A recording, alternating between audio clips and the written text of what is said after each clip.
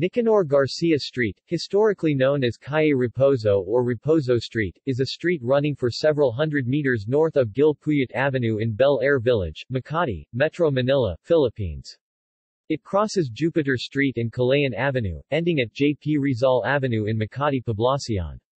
The street is notable for its art galleries, interior design showrooms and fine dining restaurants. Nicanor Garcia forms the border between Bel Air Village and the Manila South Cemetery.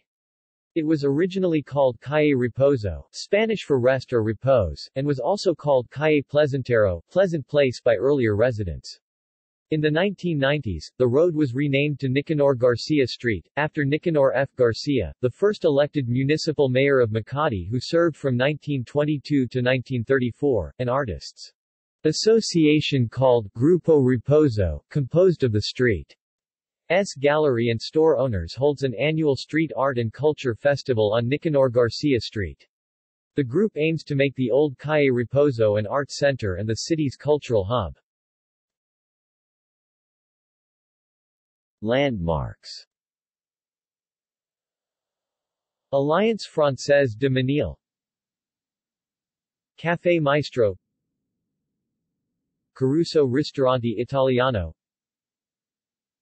Casa Ligna. Jazz Residences. L'Incontra Ristorante Italiano. Libertastyle LRI Design Plaza. Manila South Cemetery Mural. Mapua Institute of Technology. R Space Events Venue. Ristorante L. Ambasciata d. Abruzzo St. Andrew the Apostle Church SPI Global References